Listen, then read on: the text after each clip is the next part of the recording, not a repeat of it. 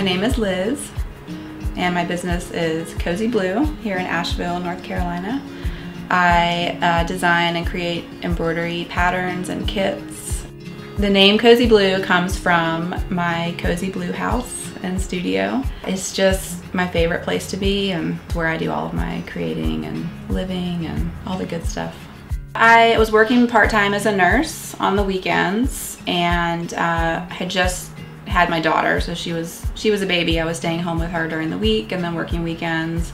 And I was doing a lot of sewing and crafting for her, making like clothes and knitting hats and making stuffed animals and things. And so I kind of got back into embroidery via the things that I was making for her. So I, I kind of just kept going with it, you know, and kept embroidering different things. And that that sort of grew into learning how to screen print it just took a lot of time, you know, and so it was time that I didn't have to be working on new stuff and designing new patterns. And I found out about Spoonflower and then basically spent six months learning how to use Adobe Illustrator so that I could draw things digitally. And, you know, I didn't know at all how to how to do that. Yeah, I think that's just kind of the nature of being a creative person is like, you know, figuring out how things work and making it work for you and and going down that path, you know.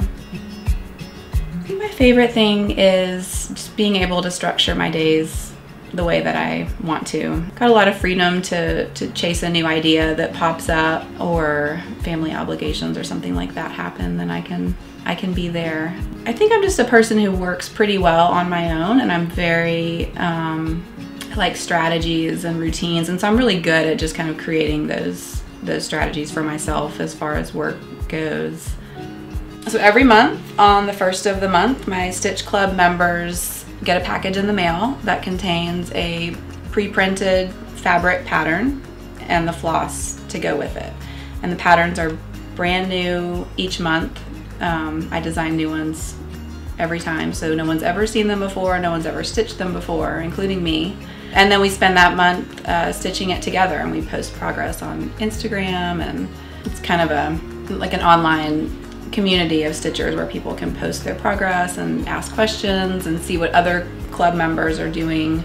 I find that for myself I am so introverted and I'm such a homebody that I tend to not I tend to not go out often. So uh, I find a lot of support and comfort in that just an online community of people who are interacting with me. It's always good to have a group of people that are kind of cheering you on and supporting you and working on the same stuff is kind of fun because my Stitch Club members are scattered all over the place. It's a nice way to have the that sense of community you know, for people that may not have that in their town or in their life physically, surrounding yourself with other creative people and people that are doing the things that are interesting to you and that are inspiring to you.